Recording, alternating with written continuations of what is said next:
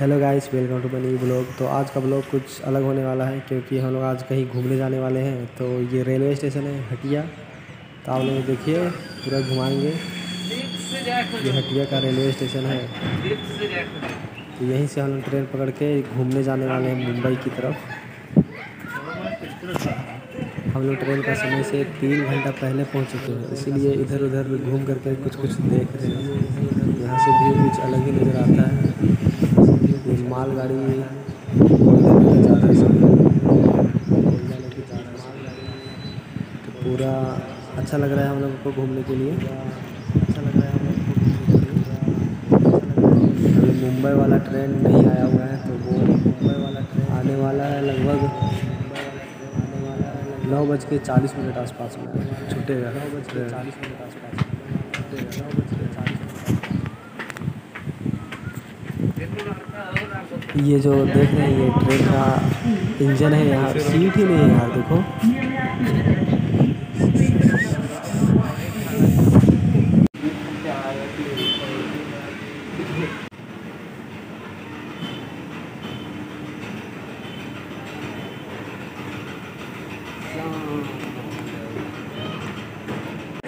हम लोग का ट्रेन आ चुका है तो हम लोग वही ट्रेन अपना सीट कंफर्म है तो वही सीट खोजने के लिए जा रहे हैं। तो हम लोग पीछे खड़ा हुए थे तो हम लोग का जो बोगी है वो आगे आया हुआ है तो हम लोग तो वहीं जाने वाले हैं। तो ये रेड कलर का ट्रेन है।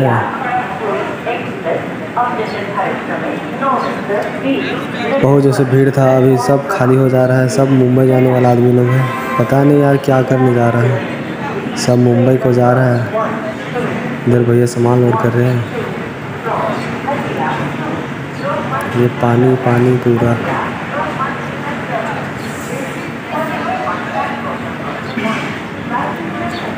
तो हम ब्लॉग अपना फ़ोन से बनाते हैं तो कुछ ऐसे दिखता है।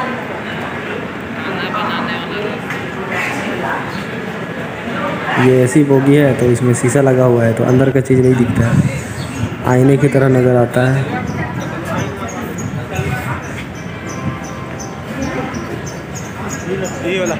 यहीं से हम लोग का चढ़ना है। तो हम ऊपर ऊपर बैठ के बोर हो रहे थे तो कुछ चाना खरीदे, वो बीस रुपया था। इतना ज़्यादा का। ट्रेन में सब चीज़ का भाव बढ़ जाता है। ये जो ट्रेन LTT मुंबई एक्सप्रेस है ना, वो ट्रेन में जो पंखा होता है ना, उससे भी धीरे चल रहा था। तो हमको लग रहा था कब पहुंचाएगा, लग रहा था उतर के धक्का मारे। ऐसे बहुत धीरे धीरे चल रहा था यार स्लो मोशन में। देख देख के बोर हो गए पूरा। बारह बजे पहुँचाने वाला ट्रेन हम लोग को साढ़े सात बजे पहुँचाया है। तो बहुत लेट कर यहाँ का व्यू बेस्ट लगा हमको। ये रांची झारखंड की तरह ही है। ऊपर नीचे पूरा उबड़ खाबड़ है। पहाड़ पर्वत आगे आप लोगों को पहाड़ छोटा छोटा दिख रहा होगा। वहीं उससे आगे और छोटा सा आगे है वैसे। तो एकदम पूरा झारखंड की तरह ही लग रहा था हमको ट्रेन में आते वक्त। क्योंकि ये ट्रेन जो है वो गाँव गाँव होकर के गुजरता है शहर में नहीं घुसता है। इसीलिए हमको लग रहा था कि गाँव ही जा रहे हैं वैसे कुछ। शहर के जैसे कुछ दिखाई ही नहीं दे रहा था। बस पता था कि शहर जा रहे हैं, बस इतना ही। ये तो पूरा गाँव की तरह ही था। ये पता नहीं कौन सा रेलवे स्टेशन है।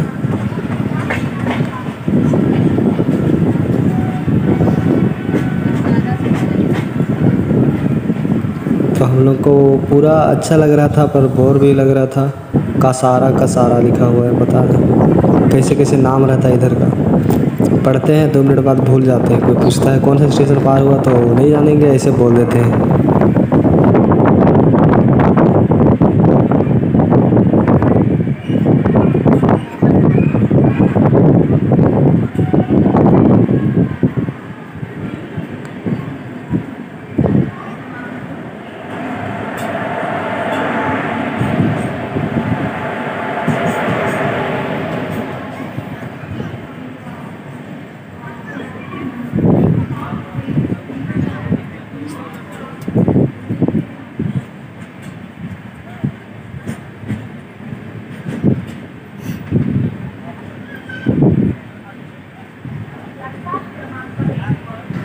को अभी तक नहीं लग रहा है कि हम मुंबई जा रहे हैं, क्योंकि जिधर देखते हैं उधर खाली पहाड़ ही दिखता है छोटा छोटा तो हमको लग रहा है कि हम झारखंड में हैं।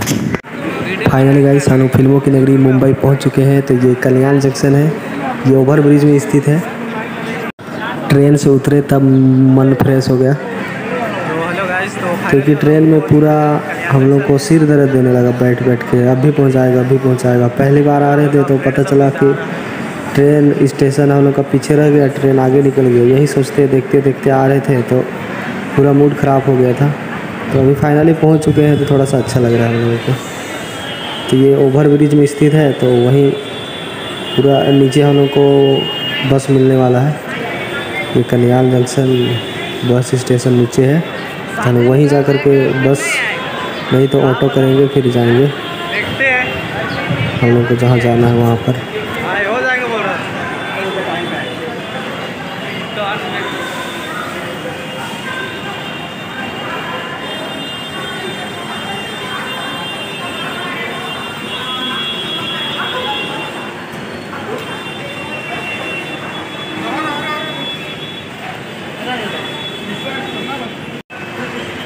हेलो गाइस ये महाराष्ट्र का बस स्टैंड है।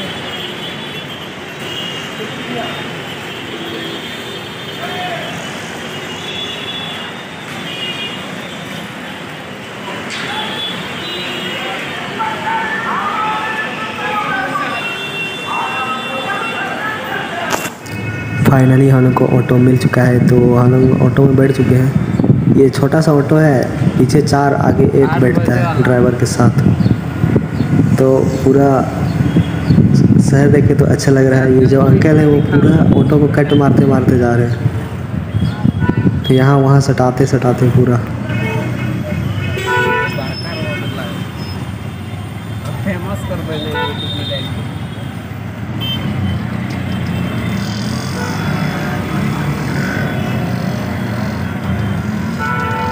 अभी शाम हो चुका है तो बहुत ज़्यादा ट्रैफ़िक है। पता नहीं सबके सामने कहाँ जाता है। इतना ज़्यादा ट्रैफ़िक है कि पूरा रोड में पैर रखने के लिए भी जगह नहीं है वैसे इस टाइप से। और जो ऑटो वाले भैया हैं तो वो तो पूरा कट मारते मारते ले जा रहे हैं। हम लोग